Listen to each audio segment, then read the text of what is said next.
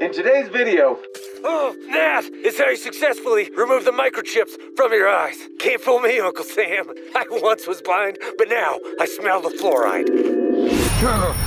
Oh, wow, what the fuck? Today, you're gonna flap those shitty wings of yours and fly. Wow, you look good. Please keep your distance. Go fuck yourself. My mother was right about you. Your mother's a bitch. No, she's not. Dude, I've been doing a deep dive on your boy Toby. the whole sky is chemtrails. Take charge with Toby. Some of his fans are saying he's gone missing. Wait, what? Yeah, I wouldn't give a damn if it weren't for quarantine. Let's solve this mystery. Why deal with your emotions when you can go on a manhunt? How the hell are we supposed to solve a missing persons case when we can't even leave our apartments? He's got 132,000 subscribers. So let's just divvy it up and start at the top, yeah? Sure, 132,000 insane people. No problem. Yeah. So, you think Toby was abducted? Look into Tom Hanks, Pat Sajak. They manipulate the moon to control our thoughts. Okay.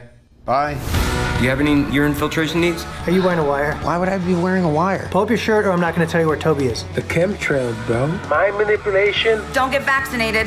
Good, good. Now give me a little twirl. Yeah. Did you take a picture? Huh? What? No, that's my uh, ringtone.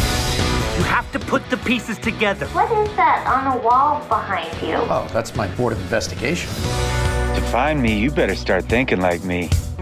Think you're up for that? It hasn't been easy. I've been able to ascertain one William Henry Gates. Well, that's probably gonna be the last time I hire a detective off of Craigslist.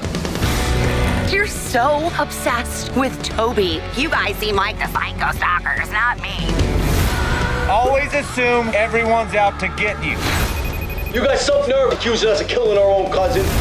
You should find him. Toby, we're coming for you, buddy. I promise.